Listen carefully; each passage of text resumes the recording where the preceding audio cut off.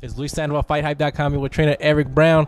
Eric, I haven't talked to you in a while, so the first thing I'm gonna ask you is about Kid Chocolate. I know you guys didn't have a, a the results you expected, but it's been a little while now. What What are your initial thoughts on everything that went down? Uh, well, you know, it was a fight, and you know, uh, it, of course, we wanted a different outcome, but you know, uh, I think the referee overreacted and and uh, stopped the fight prematurely. Um, you know, it, it is what it is. There's no sense crying over spilled milk, but the, you know, I still think that uh, uh, he kind of kind of uh, got a little excited and just made the, made a bad move at the wrong time and cost us a fight. But I think you know we'll have a rematch and we'll see how things go.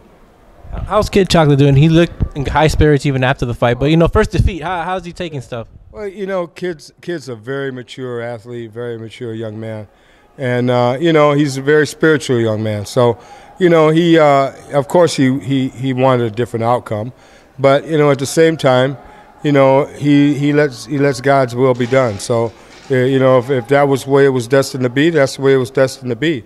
Um, you know, and he relies on his spiritual spirituality to to to give him strength in in the most difficult times. So, you know, the, uh, it's never a good thing to have to deal with that that kind of a loss. But you know, he didn't get hurt, he didn't get beat up or nothing like that, and and I honestly feel that you know, had the referee let the fight go on, we'd have won the fight. But hey, how you doing? And but uh, you know, um, there's a, there'll be another one. How anxious are you guys to get that rematch, coach? Or are you are you willing to go another route if it has to go that way? We'll, we'll go whatever Al wants us to do and however God wants us to do. You know what I mean? Uh, you know, our managers uh, calling the shots, and, and if he says he wants us to do something before we do a rematch, then so be it. But uh, whatever it'll be, it'll be in Pete's best interest. So that's what's important. Always great insight. And last thing, just what do you want to tell the fans? Who else are you working with? What you got coming up? I know you told me you got some fights coming up, Eric. Just yeah. give the fans an update. Well, you know, I got a couple young guys that just had a young man named Igor fought tonight, and uh, he had an eight-round uh, unanimous decision. Uh, from he's a 2012 Olympian from uh, Russia. Uh, good young fighter. He's coming up, learning a lot. um, I'm getting ready to have Hugo Centeno step back out there uh, pretty soon. Uh, people have been waiting to see him fight again. Uh, Lucky Boy Omotoso, uh, you know, he's another one that people are looking to see get back out there.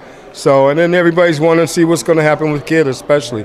Uh, Paulie's gone and won another European title, so I'm very proud of him and very happy to see him, you know, finding the fights, you know, fights finding him that suit him and him being able to go out there and prove all the all the experts wrong again.